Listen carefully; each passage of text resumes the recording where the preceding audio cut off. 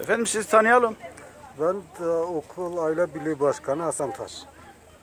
Okulumuzun öğrencileri çok mağdur durumda. Gelmeyen öğrencilerimiz var. Milli Eğitim'in yaptığı ihaleye servisler girmiyor. Ee, Biz çözüm bekliyoruz. Traktörlerle, motosikletlerle gelen vatandaşlar. Bazı komşular e, komşularını getiriyor da gayet okul yüzü görmeyen öğrenci sayımız çok.